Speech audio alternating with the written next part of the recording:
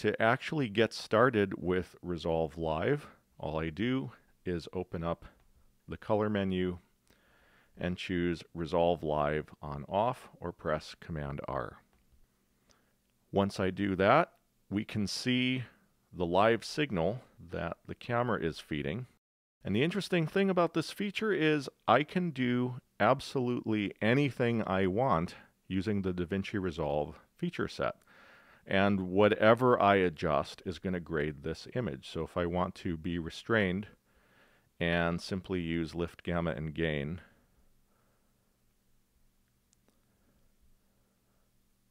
to see if I can get any more highlight detail from those blown out bits.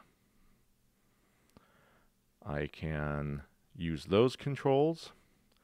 I can use my curves if I so desire. I can use saturation, contrast.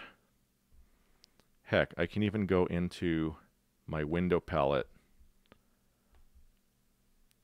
and fool around applying windows as I make these adjustments. So that's the power of Resolve Live is I'm not limited to a subset of DaVinci Resolve functionality in order to build live grades that I want to use later.